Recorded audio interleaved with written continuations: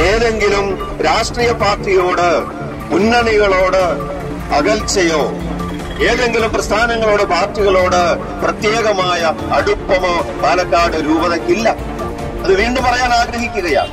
ഈ കഴിഞ്ഞ നാളുകളിലെല്ലാം തന്നെ പാലക്കാട് ഉപതെരഞ്ഞെടുപ്പ് നടക്കുന്ന ഒരു മണ്ഡലമാണെങ്കിലും ആ തെരഞ്ഞെടുപ്പ് നടക്കുന്ന മണ്ഡലത്തെക്കാൾ കൂടുതൽ ചർച്ചയായിരിക്കുന്നത് പാലക്കാട് രൂപതയും പാലക്കാട് രൂപതാധ്യക്ഷനും എ കെ സി സി പ്രസ്ഥാനങ്ങളും ഇവയൊക്കെ തന്നെയാണെന്ന് എനിക്ക് മനസ്സിലാക്കാൻ കഴിഞ്ഞു.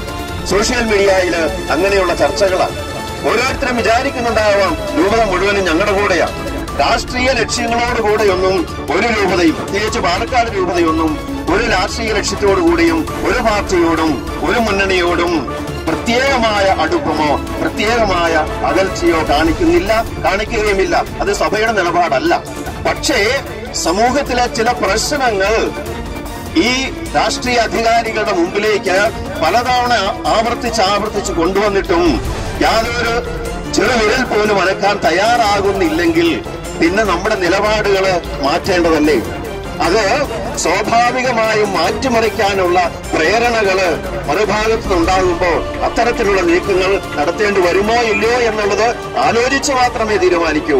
ഒരൊറ്റയടിക്ക് ഒരു പ്രസ്താവനയിലൊന്നും ഒതുങ്ങുന്നതല്ല. എല്ലാം ആലോചനകളിലൂടെ മാത്രം